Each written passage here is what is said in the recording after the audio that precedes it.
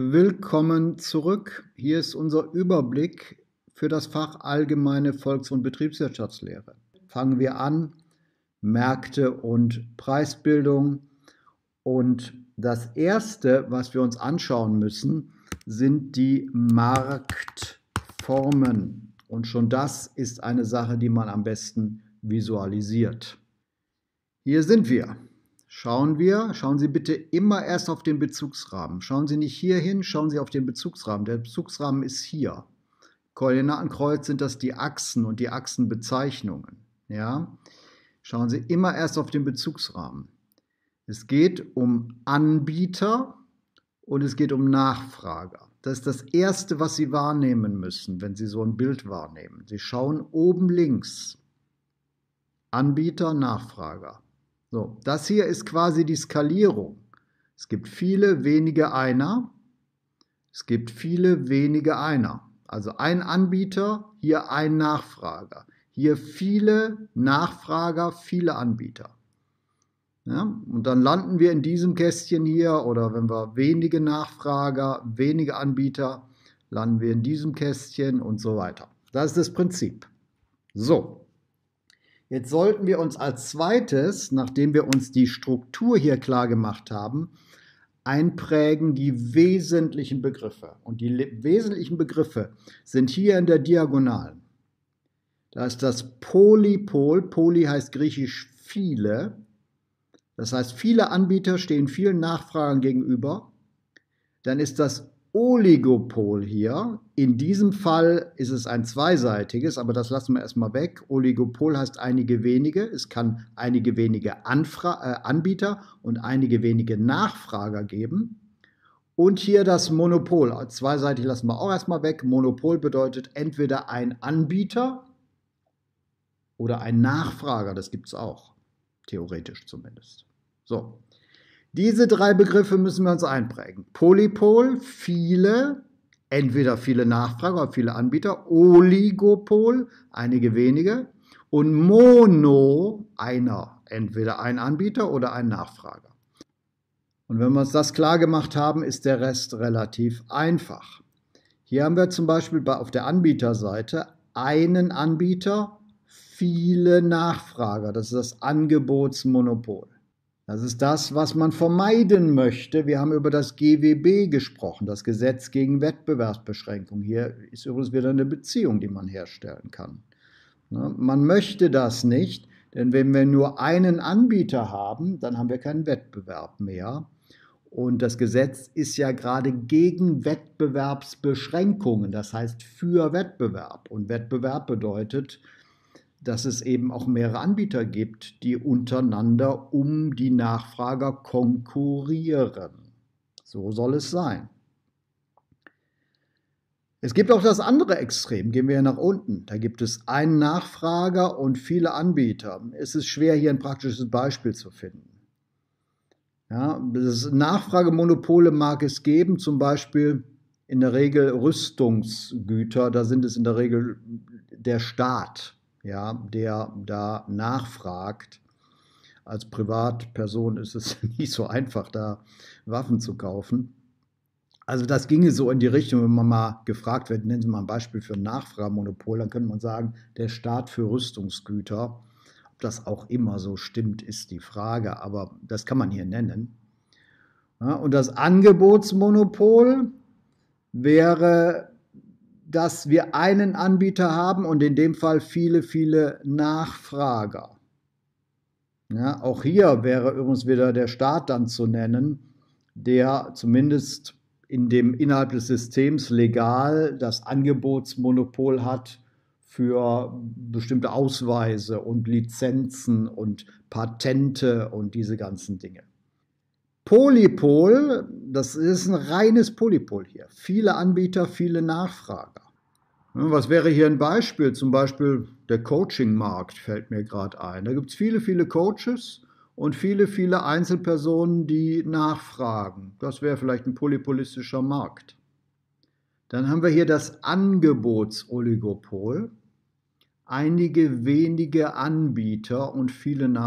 Und da wird in der Praxis immer genannt der Benzinmarkt. Das sind einige wenige große Mineralölkonzerne und der Zigarettenmarkt. Einige wenige große Tabakfirmen. Das ist ein Angebotsoligopol.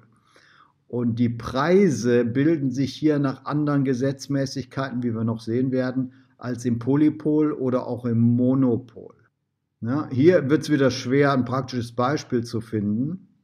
Ja, aber Angebotsoligopole, Angebotsoligopole, die gibt es. So, das soll genügen zur Betrachtung der Marktstruktur. Warum ist das wichtig? Weil es klar sagt, wo die Macht ist. Wenn wir sagen Marktformen, könnte man auch sagen Machtformen. Das Angebotsmonopol ist die extremste Form der Macht.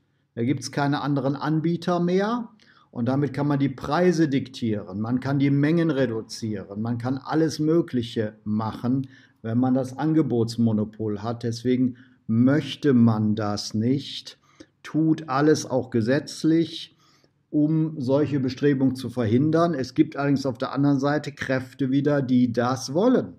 Denn das ist natürlich wunderbar. Ne? Dann kann man die Preise diktieren, kann man eigentlich alles diktieren, vor allem wenn es dann noch um Güter geht, die jeder braucht, ja, wie zum Beispiel Treibstoff für das Auto oder bestimmte Nahrungsmittel.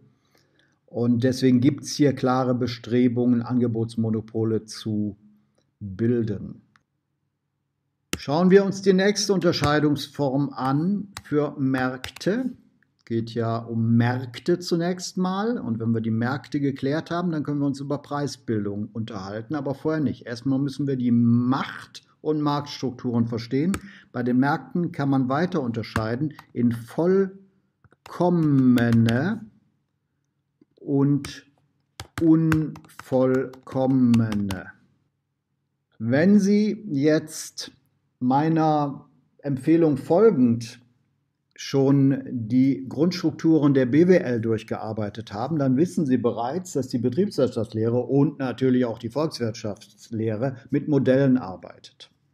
Modelle sind vereinfachte Abbildungen der Realität. Und eines dieser Modelle ist der vollkommene Markt.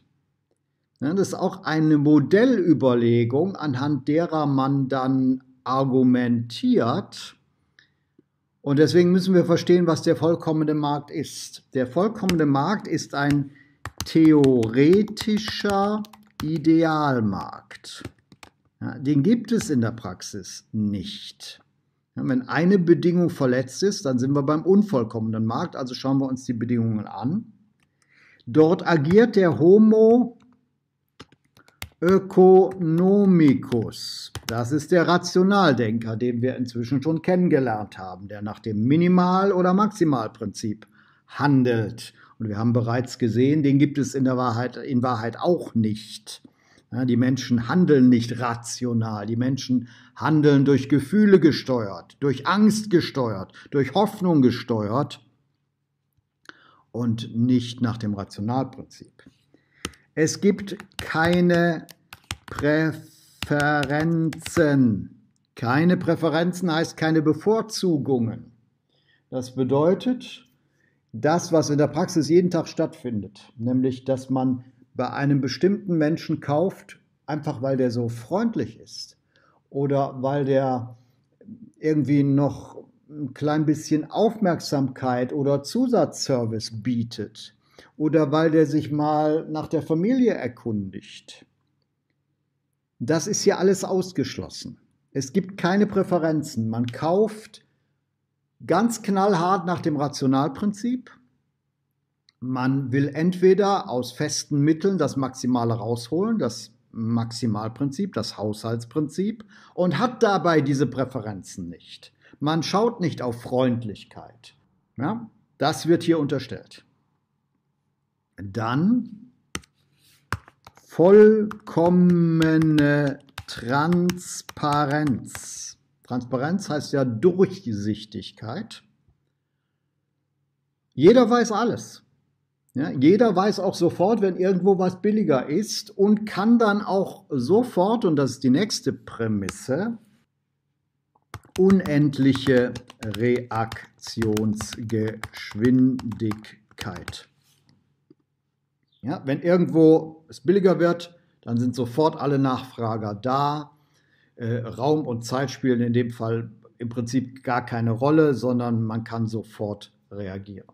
Das sind die Prämissen. Ja, auch hier ist es gut, wenn man diesen Teil Grundbegriffe BWL schon studiert hat. Prämissen sind Annahmen. Das sind die Annahmen, die gelten müssen, dass wir einen Markt vollkommen nennen. Und es ist, glaube ich, schon klar geworden, dass dieser Markt nicht existiert. Der unvollkommene Markt bedeutet, mindestens eine Bedingung ist verletzt.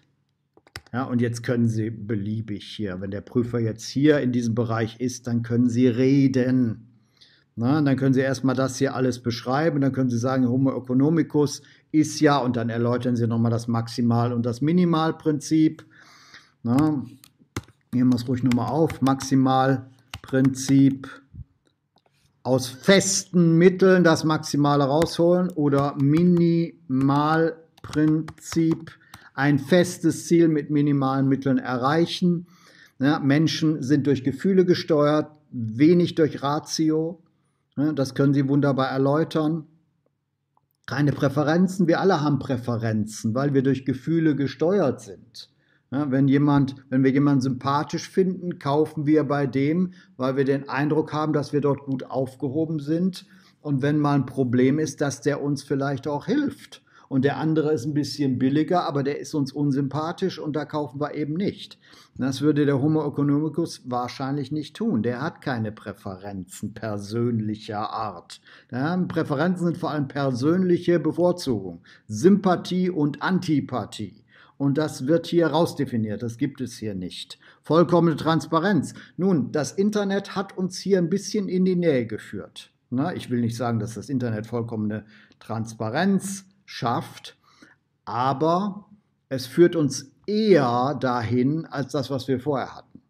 Und deswegen ist der Preiswettbewerb im Internet auch so hart, so brutal, weil man mit wenigen Klicks herausfinden kann, wo das Produkt irgendwo billiger ist. Da gibt es ja sogar Börsen, wo das verglichen wird und so weiter und so weiter. Also der Transparenz, die ist nicht vollkommen, aber der sind wir schon näher gekommen durch das Internet. Auch solche Dinge kann man erläutern hier, wenn das Stichwort kommt, hier, wenn der Prüfer uns hier in diese Richtung führt, dann reden Sie bitte. So, unendliche Reaktionsgeschwindigkeit haben wir mit Sicherheit nicht, aber wir können schnell agieren, auch im Netz online bestellen. Das geht so ein bisschen in die Richtung, ist natürlich nicht unendlich schnell, aber es geht in die Richtung. So, das ist unser erster Teil hier, die Marktformen und der vollkommene und der unvollkommene Markt. Alles Gute, Marius Ebert.